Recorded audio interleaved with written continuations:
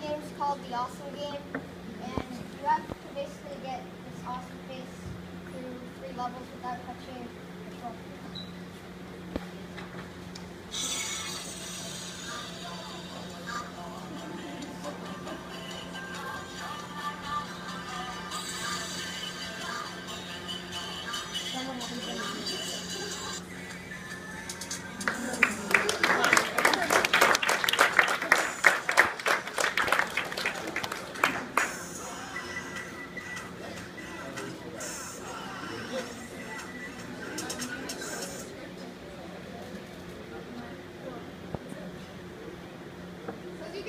scripts got pretty complicated. We have gravity, we have changing colors, we have music playing, a whole, whole bunch of stuff. So, um, my kids were so awesome. They, uh, I, I don't think I've had like as focused or like driven of a group of kids um,